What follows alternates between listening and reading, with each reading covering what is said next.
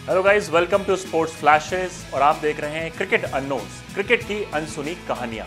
मेरे साथ सौरभ यदुवंशी। गाइस 2004 में एक ऐसा अमेजिंग इंसिडेंट हुआ था, जिसने इंडिया और पाकिस्तान के दो क्रिकेटिंग लेजेंड्स को साथ में लाकर खड़ा कर दिया था। जी हाँ बात है 2004 चैंपियंस ट्रॉफी की। पाकिस्तान के स्टार बैट्समैन यूनिस खान बुरी तरह स्ट्रगल कर रहे थे। होटल में बैठे बैठे सोच रहे थे कि उनका करियर किस तरफ़ जा रहा है। रन नहीं बन पा रहे थे। टेक्निक में प्रॉब्लम्स आ रही थी, वो सोच रहे थे हेल्प ली जाए तो किसकी ली जाए? सडनली एक नाम उनके दिमाग में आता है और वो अपने होटल रूम में जाकर उस नंबर को डायल करते हैं और बोलते हैं कि, क्या आप मुझे पाँच मिनट दे सकते हो?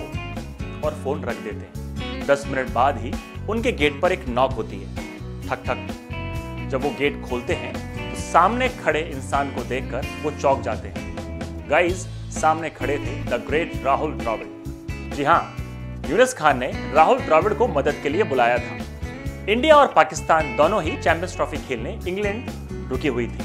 राहुल द्रविड़ से पाँच मिनट मांगने के बाद यूनिस खान को यह बिल्कुल भी बिलीव नहीं हुआ कि ये तो सेम क्रिकेटर मेरे गेट के बाहर आके खड़ा है। राहुल द्रविड़ ने उन्हें पाँच मिनट नहीं, अगले आधे घंटे टेक्निक के बारे में समझाया और बताया कहा वो गलतियाँ कर रहे हैं। गाइस उस अमेजिंग मास्टर क्लास के बाद यूनिस खान का करियर हाइट चला गया।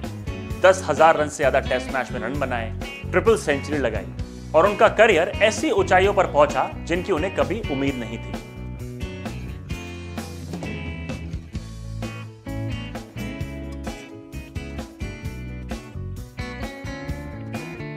दोस्तों, ऐसे ही अमेजिंग किस्से और अनसुनी क्रिकेटिंग कहानियों के लिए आप देखते रहिए cricket announce only on Sports Flashes